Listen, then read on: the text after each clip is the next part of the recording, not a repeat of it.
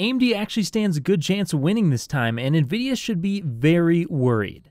Let's talk about it.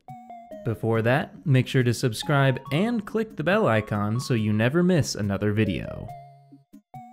So when talk of new graphics cards first began to circulate around the internet, you know, right away I thought to myself, well, Nvidia's going to have the fastest card again for sure because, you know, looking at the current market, the RTX 2080 Ti is much faster than AMD's fastest card, the RX 5700 XT. And so I thought to myself, you know, they've got way too long of a hill to climb. They're not going to be able to make up the performance when Nvidia puts out their 3000 series cards. However, you know, as more and more leaks and rumors have been appearing online, I'm beginning to doubt that and think that, you know, AMD has a real shot this time around to actually not only match NVIDIA, but potentially also beat them. So let's go ahead and talk about the various things I've been seeing over the last year that makes me think that. So the first thing that tipped me off to the fact that AMD might actually have a real shot of winning this time is that, you know, there's been a rumor that's been persisting online for a really long time that Nvidia is going to use the Samsung 8 nanometer node rather than TSMC's 7 nanometer node. And while we don't know the exact specifics about these different process nodes and how they compare, what we do know is there's been a lot of people online who have claimed that the TSMC 7 nanometer node is the more advanced node. So knowing that, we can see that once again AMD is going to have the advantage when it comes to the process node, which of course gives you a big leg up. And so if they can make improvements this time around, you know, that gives them a real shot. Another thing that popped up online that gave me the thought that, you know, AMD could win this time around is the fact that, you know, during one of AMD's presentations, they stated that the RDNA 2 architecture, which Big Navi will be based on, is going to have another 50% performance per watt gain. And you know, normally during these presentations, I like to take things with, you know, a whole truckload of salt. I don't like to really take them at their word. However, they said that about RDNA 1 and as far as I can tell, they were very truthful about that. It did end up having 50% more performance per watt. So, you know, I'm going to take their word this time and hopefully they don't let me down. And yeah, we'll probably see another 50% performance per watt gain. And I don't think we're going to see something like that from Nvidia. You know, we could I could be wrong, but that's a huge improvement to make 2 years in a row. And I think you know, after RDNA 1 pretty much brought them in line with NVIDIA, RDNA 2 could make them highly competitive even with NVIDIA's next architecture. And then that brings me to the next leak slash rumor that's been going around the internet that the RTX 3080 slash 3080 Ti could have 320 watt or 350 watt variants. And you know, looking at the information, that gets me thinking that, you know, maybe NVIDIA is a little bit worried. Maybe after that presentation, or maybe they got their hands on some other information we don't know about, they began to look at AMD's cards and take them more seriously and go,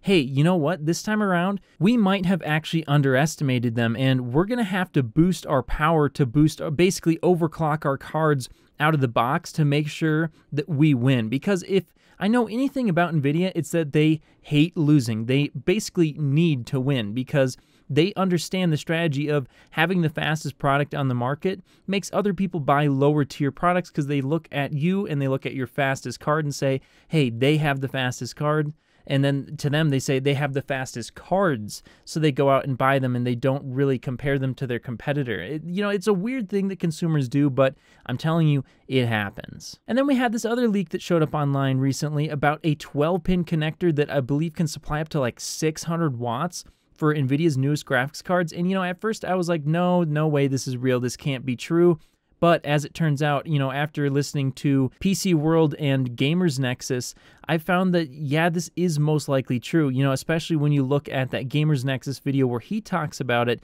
He basically confirms that, yes, this is real. NVIDIA's been looking into this for a long time.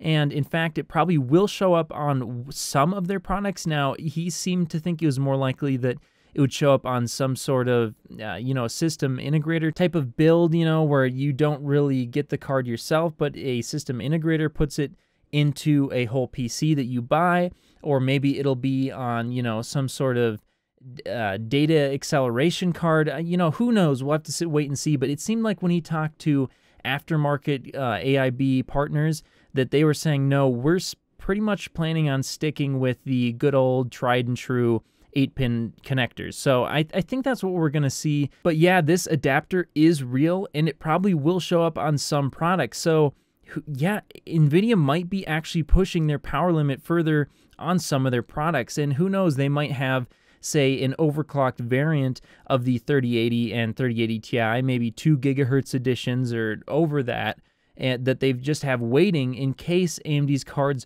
are as good as they're looking and so they have a backup so that you know at least when you show the two cards stock to stock without any overclocking uh, the basically pre-overclocked nvidia cards will still win by a slim margin. And so you know talking about that there was also another leak that came out recently that showed that the RTX 3080 is going to be 50% faster than the 2080, basically making it 20% faster than the 2080 Ti. Now, I don't know for sure how real this is, but this could be like one of those basically overclocked variants, a 320 watt or 350 watt card, which has been basically totally unlocked and gets another, you know, 10, 5, 15% performance over what they were originally targeting because they really let the card go. But after hearing all the different reasons as to why I think AMD stands a real chance this time around, you're probably still wondering what the specs in performance of the 3080, 3080 Ti, and Big Navi will be. And so let's go over those based upon not only history but also the various leaks and rumors that have appeared online. So, starting out, I think first off we're going to get the RTX 3080. I, you know, there's been a lot of rumors that it's going to have like 4,352 shaders. Uh, you know, oddly the same amount as the 2080 Ti.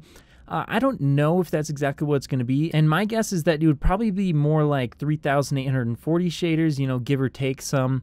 And so if we do the math with, say, you know, maybe it gets around 2 gigahertz for a boost clock, you would see a card that's probably somewhere between about 10 and 20% faster than an RTX 2080 Ti. So yeah, that rumor could be true. There could be an RTX 3080 out there somewhere that is 20% faster than a 2080 Ti. Will that be the final silicon? Who knows? We'll just have to wait and see. But then I think the next card you're going to see that's going to be a little bit faster than that is that if Big Navi releases with 64 compute units, which would give it, you know, 4,096 shaders, then that card will probably be between 20 and 30% faster than a 2080 Ti, and, you know, give or take some, uh, depending on how they get their IPC. And then the next thing I think that would come after that in terms of performance is if AMD actually makes a big Navi with 72 compute units, and this is a big if, we don't know for sure, but there have definitely been a lot of leaks online suggesting that that is the case, then you'll probably get a card with, you know, 4,608 shaders from the 72 compute units, because of course you take 72 compute units times 64 to get the amount of shaders and then that would give you probably in you know doing the math of what I believe the clock speeds will be which for Big Navi I, think they're going to rest somewhere between 2.2 and 2.3 gigahertz depending on how many shaders are in the card and of course so then that would give you between 30 and 40% faster than a 2080 Ti so that would be a big step up especially if it does end up hitting that 40% faster the next card that we'll probably see in terms of performance that will be faster will be the RTX 3080 Ti, which I believe will have around 5,300 shaders. There's been a leak that's been persisting online uh, from the YouTuber Moore's Law is Dead that'll have 5,376. You know, sounds pretty reasonable. That that makes sense. And if it does get around that amount of shaders, you'll probably see between 35 and 45% faster than a 2080 Ti because that thing will probably boost close to 2 gigahertz with the uh, boost algorithm in place. And then you will see if this happens, the fastest card could be a big Navi with 80 compute units. And so if you take those 80 compute units, you will get 5,120 shaders. And, you know, if that thing hits around 2.2 gigahertz, which I don't see any reason why it can't since the PS5 hits, you know, 2.23 gigahertz, I believe, well, then you'd see a card that's between 40 and 50% faster than a 2080 Ti and would be the fastest card on the market. You know, this is something that could happen, but we don't know for sure. It's all going to come down to final clocks and final IPC in the end. And of course, if NVIDIA sees all this and they suddenly you know, freak out and go, okay, we need to really unlock the power limits, hit 350 watts, they could end up winning by like 5% even against a big Navi 80 compute unit version. It's something that could happen, but again, We'll just have to wait and see when all these come out. This is just my opinion. I'd love to see what you think the specs of these final cards are going to be in the comments below. And then, of course, are you interested in buying either of them? I'll try and get back to as many of the comments as I can. And of course, I will see you in the next video. If you made it to the end of the video, be sure to drop a like. Every time you do so, NVIDIA and Intel drop prices. Also, if you want to see more, click here. You won't be disappointed.